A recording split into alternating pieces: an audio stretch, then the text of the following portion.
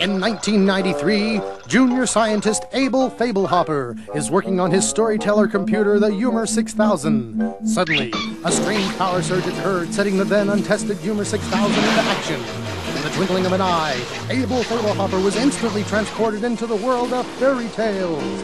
Now he's trapped within the books of your public library, and using the Dewey Decimal System as his guide, he's hopping from fairy tale to fairy tale, trying to find his way home.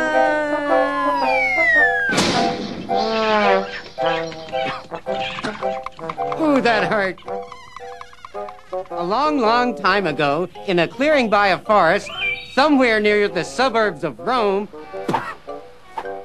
there lived a young boy named Androcles. That's Andy, please. Only my mother calls me Andy, please. Andy was a very bright boy. E equals MC squared. Not quite that bright. Oh, uh, which way do I go? Which way do I go? Not that slow. He was just right. Oh, I'm really glad to hear that. Andy was well